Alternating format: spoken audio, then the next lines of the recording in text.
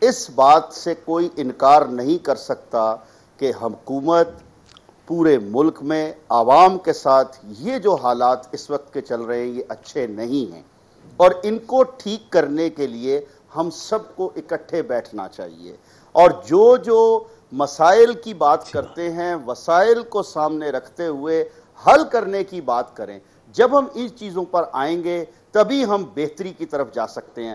Again I come to that point کہ کیا اس بات سے کوئی انکار کر سکتا ہے کہ ہماری اسٹریٹجی ہماری پالیسیز پچھلے چار ڈکیڈ میں کیا اس طرح کی رہی کہ کیا کسی نے یہ پلان بنایا کہ پچیس سال بعد حالات کیا ہوں گے؟ ان کو کس طرح سے ہم نے جا کر کیٹر کرنا ہے؟ یہ لون جب لیے جا رہے تھے، میں چار سال سے پارلیمنٹ میں ہوں اور پہلا میرا سوال جو تھا پارلیمنٹ میں تھا یہی کہ جب بھی آپ لون لیتے ہیں تو اس پر ایک ری پیمنٹ پلان تو بنے گا۔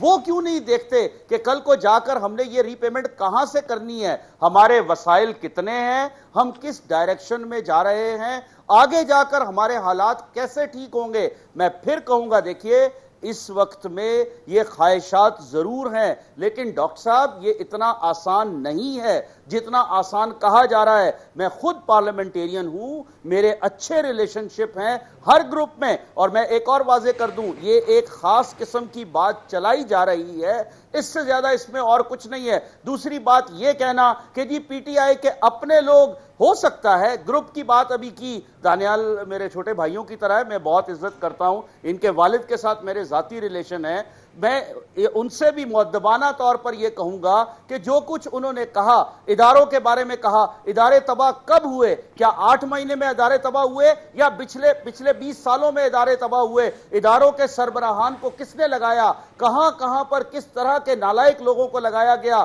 جس سے آج حالات اس دور تک پہنچے ہیں۔ اس میں میں پھر کہوں گا کہ دیکھیے ہمیں یہ دیکھنا ہے کہ کیا جو پی ٹی آئی کے گروپس کی بات کر رہے ہیں کون سی جماعت ہے جس میں گروپس نہیں ہیں؟ معذرت کے ساتھ یہاں تو لوگوں کے گھروں میں گروپس ہیں لوگوں کی فیملیوں میں گروپس ہیں۔ اس لیے یہ کہنا کہ کسی بھی پولیٹیکل پارٹی میں کچھ لائک مائنڈڈ لوگ ہوتے ہیں کچھ تھوڑا فاسٹ قسم کے کھیلنے والے لوگ ہوتے ہیں دیٹ ڈزنٹ مین کہ وہ اپنے لیڈر کے ویژن سے ہٹ کر چل رہے ہیں یا جب بھی ووٹ دینے کا وقت آئے گا، وہ ان کے خلاف ووٹ دیں گے۔ تو ابھی مجھے اس طرح کی کوئی اس حد تک کی صورتحال نظر نہیں آ رہی۔